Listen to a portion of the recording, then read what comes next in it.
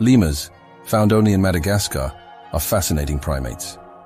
They boast unique traits, like their diverse range of sizes, from the tiny mouse lemur to the large indri. With over 100 species, lemurs exhibit intriguing social behaviors, such as grooming rituals and distinct vocalizations. Their unusual adaptations, like scent marking using wrist spurs, set them apart as captivating subjects for scientific study and conservation efforts.